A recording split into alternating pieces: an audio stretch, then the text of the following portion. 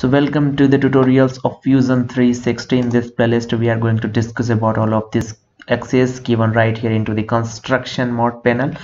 Uh, in our previous video we have already discussed these axis till axis through edge. And in this video we are going to discuss about axis perpendicular to face at a point. For that we need to create a sketch right here I'm going to create a sketch by selecting front plane of this and by using this rectangle line here I'm going to create two rectangle right here. By using this extrude feature and selecting this I'm going to extrude this up a little bit like this.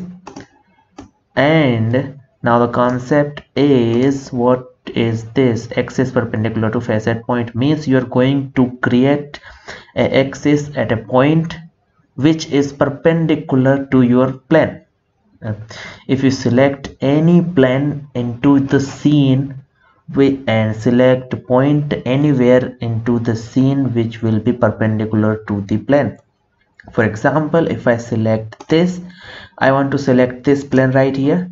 And if I select point right here so the axis will be created right here according to this plane for example again I'm going to give you one more example.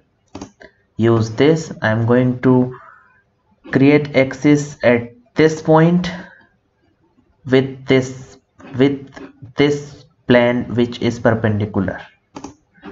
So line is created at this point which is perpendicular to this plane. So hope you like this video. This is how you can create your axis as in sometime you need to revolve your revolve uh, any object you want to revolve around axis you need to create axis like that. So this is the this is how you can create axis into your scene.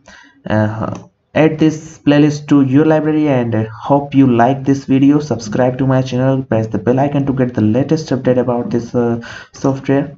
And also comment in the comment box. So I'll, surely i will uh, reply it. And if uh, there is a doubt i will make video on this topic.